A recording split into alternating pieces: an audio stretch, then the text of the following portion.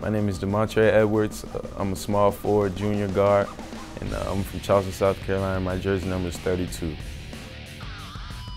What I most enjoy, uh, how hard he makes us work, and uh, he wants to get he wants to get the best out of us. So that might be it. When I was younger, uh, my uncle wore uh, like 15 and he wore 21, and he moved to 32, which was his new number. So I wanted to be just like him, and so I got that number. The most played artist on my iPod, I would say Lil Wayne. But uh, the most played group, I'd probably say Maybach Music Group.